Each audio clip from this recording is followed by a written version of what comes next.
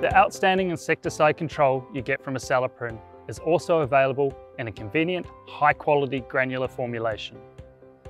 Acelepryn GR is an effective, long-lasting insecticide that protects your turf areas for longer.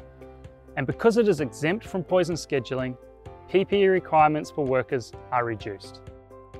This new no spray option means it is easy to use and doesn't need to disrupt the people using the community green spaces.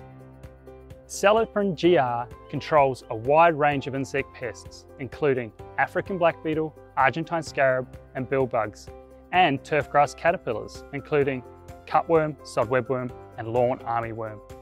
Like a Acelepryn liquid, a Acelepryn GR can deliver up to six months season-long protection. Acelepryn GR is very easy to apply and a great tool for broadcasting over passive areas, sports fields, and hard to get areas around trees, golf greens, and tees, for example. The most important thing when using a granular product like a Acelepryn GR is to make sure your spreader is correctly calibrated.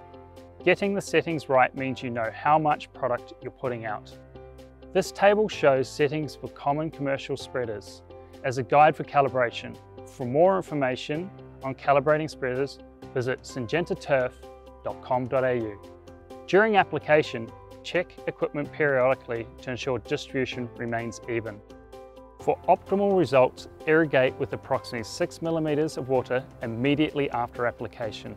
Although, if treating caterpillars, irrigation and mowing should be delayed for 24 hours. Application rates range from 75 kilograms per hectare to 150 kilograms per hectare, or for smaller areas, 750 grams to 1.5 kilograms per 100 meters squared, depending on the pests you are targeting and your application timing.